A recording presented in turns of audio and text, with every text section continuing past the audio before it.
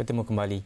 India dan Malaysia bersetuju mengukuhkan perkongsian strategik dua hala dalam bidang alam sekitar dan perubahan iklim, terutama dalam melindungi kepentingan negara membangun. Menteri Sumber Asli dan Alam Sekitar Datuk G. Parinival dan rakan sejawatnya di India Prakash Javadekar berkata, kedua-dua negara perlu bekerjasama dalam rundingan antarabangsa untuk melindungi kepentingan negara membangun. Javadekar berkata India komited untuk bekerjasama dalam rundingan mengenai perubahan iklim dalam Konvensyen Rangka Kerja Pertubuhan Bangsa Bersatu mengenai perubahan iklim.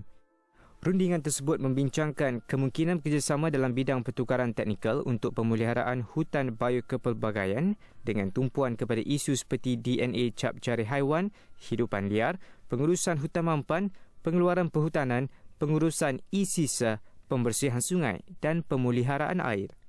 Mengenai pemeliharaan biodiversiti dan promosi, Javadekar berkata harimau putih India mungkin boleh ditukarkan dengan tapir Malaya yang terkenal.